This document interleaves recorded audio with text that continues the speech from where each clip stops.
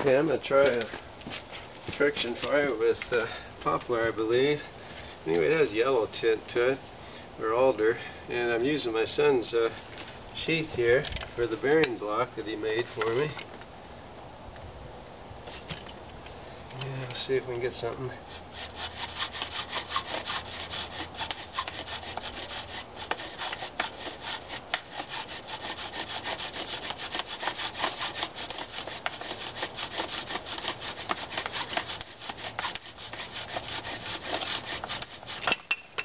Can't seem to get a nice even flow on this spindle. It's a little large.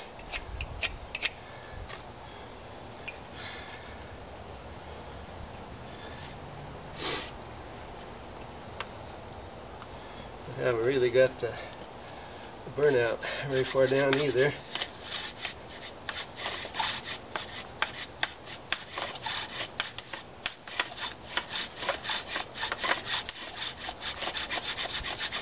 Get a little bit further here.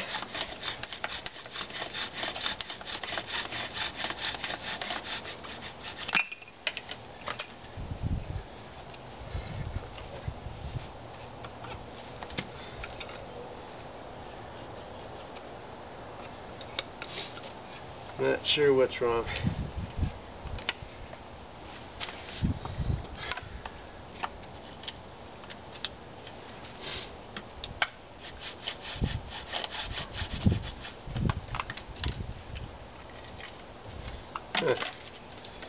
Everything feels right.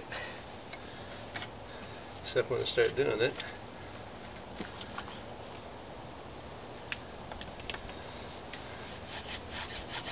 Can't get a long enough draw.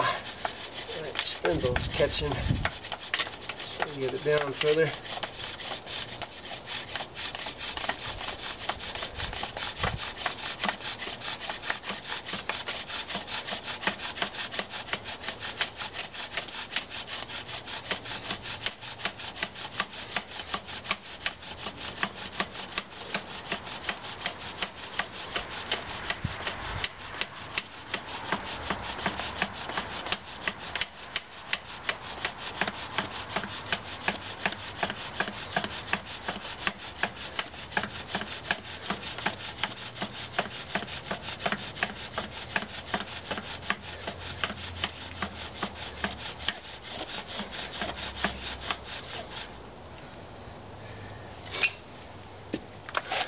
Have a deep enough groove going, but I think I got a cool. Oddly enough, I do. It started over on the opposite side of the spindle. That shows that you can get a coal. This is crazy. Let me take off the camera.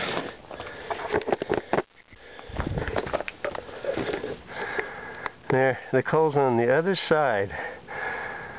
And I didn't have deep enough groove here, so I just build up there anyway.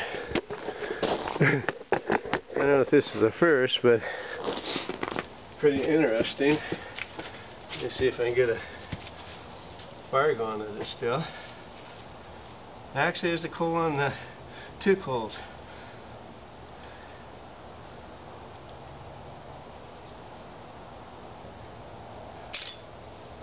Yeah, that is really something.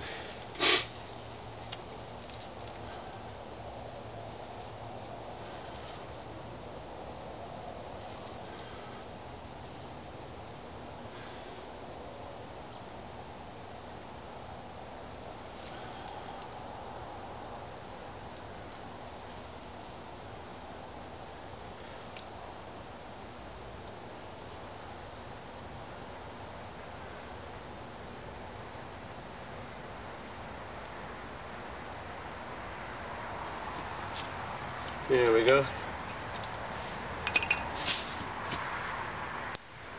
So that's a new one for me. Uh, using Spyderco meal my son made uh, for me and the bearing block in there and success. Success in a weird way though. The coal on this side on the top part and the coal on the other side and it, I didn't have the groove in deep enough and so therefore the uh, the coal built up around the edge anyway. So in spite of myself I made a coal. Pretty good lesson.